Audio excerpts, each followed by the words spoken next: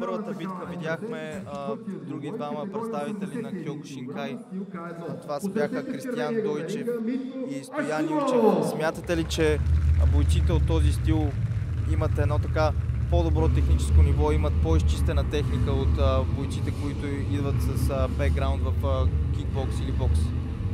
Не бих казал, но тук само бих отбелязал, че наистина за да постигнеш победа с нокаут в система, където не се атакува главата, е много по-трудно и иска много повече физическа подготовка и тайминг, отколкото нали, случайните удари, които могат да попаднат.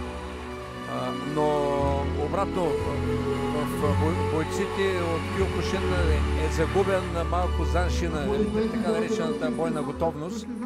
И малко по-лесно се атакуват по, с свободни удари към главата, понеже не отдават много значение и са свикнали да поемат и силни удари, докато тук в тези правила вече трябва да си много внимателен и защото един пропуснат удар може да ти реши цялата среща.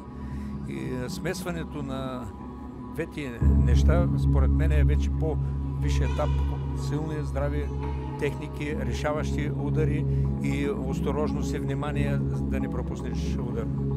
Ето сега виждаме Йоргов излиза с традиционен поздрав за карате Кьокушин.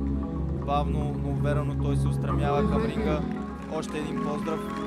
Наистина показва, че уважава традициите на спорта. Освен това е един добър представител на това бойно изкуство. Излиза с а, музика от а, известния за всички почитатели на бойните спортове филм Кърва спорт. Той е споделял, че това е неговия любим филм и той го е а, стимулирал да тренира бойни изкуства. Състезателят на спортен клуб Първец София. Значи искам а, само да поясня, че Кьоко, Кьокушин, нали, или по-точно Кьоко означава основа, първичност. А, подготовката в Кюкушин е една основа и оттам нататък всеки един боец трябва да настройва, да наслага нещо, ако иска да бъде боец. Иначе ще, ще си остане в тази основа. А, всяка една къща иска покрив и кумин отгоре. Но и гореща печка, сърце. Добри сърце. основи. Да. Двамата бойци изглеждат изключително спокойни в съответния си ъгъл. Рефер на този двубой ще бъде Марио Йорданов. Да видим Македония срещу България. Очакваме силна подкрепа за Николай Йоргов от публиката тук Двореца на културата и спорта. Дано тя да го нахъса и да му подейства по-скоро мотивиращо, отколкото да подейства отрицателно на духа му.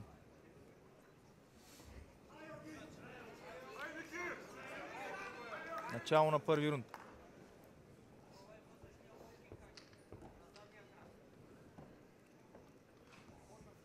Има някакво забавяне от техническите лица. Реферите са готови, бойците са готови. Начало.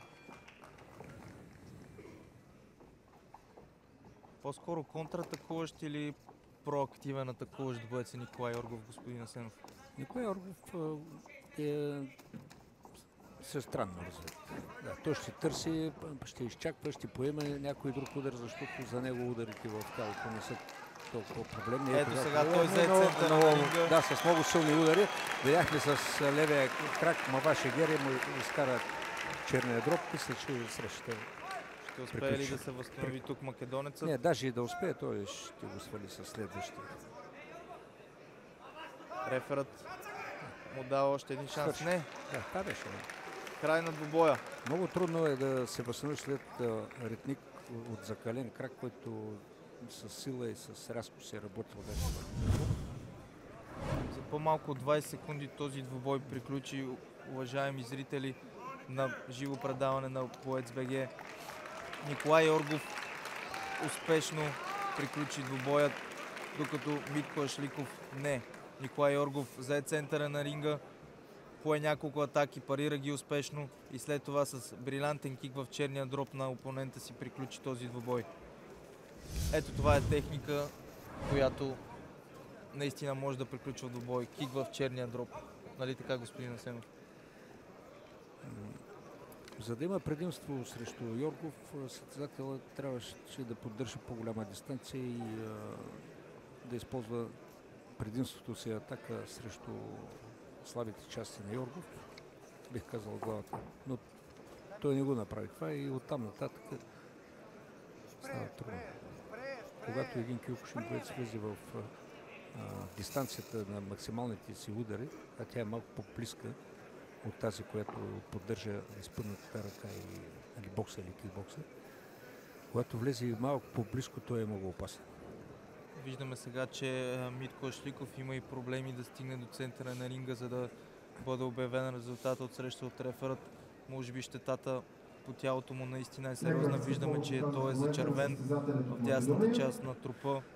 Ситуацията, в която той получи този удар е много така опасна за него.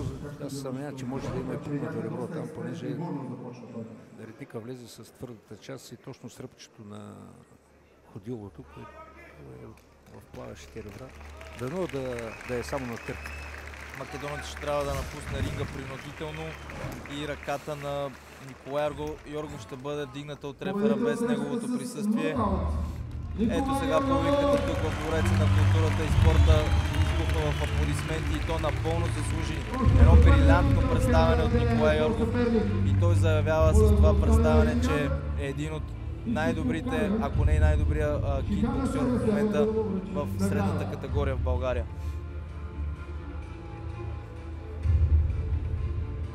Той сега ще бъде удостоен и с една страхотна купа. Какво мислите за тези купи, господин Асенов? Изглеждат като купите, които в Япония биват Да, връчвани Впечатляващи много големи са тези купи. Това все пак е чест за организатора, чест и за боеца, който спечелва тая купа, защото тя наистина е първа и трябва да се забелязва между всички останали, защото а, ние мислиме това да стане традиция и а, нали, сенши и изобщо кар, карате в правилата на фул контакт, на, да, да се развиват, да се развиват. Това е настройката на Кюкушин, която КБУ замисля. Тук е момента и да благодарим отново на виновниците за този страхотен боен спектакъл. Застрахователно акционерско дружество Армеец, Българската конфедерация по кикбокс и Муайтай, Световния Киокушин съюз, България Онер и разбира се Боец БГ. Още веднъж аплодисменти за боецът на спортен клуб Армеец София Николай Йоргов. Той приключи по боя си срещу Митко Ашликов още в първия рунд с брилянтен кик в тялото на опонента си, който не му остави друг шанс, освен да се свие във ъгъла, а реферът трябваше да се намеси и да прекрати тази битка.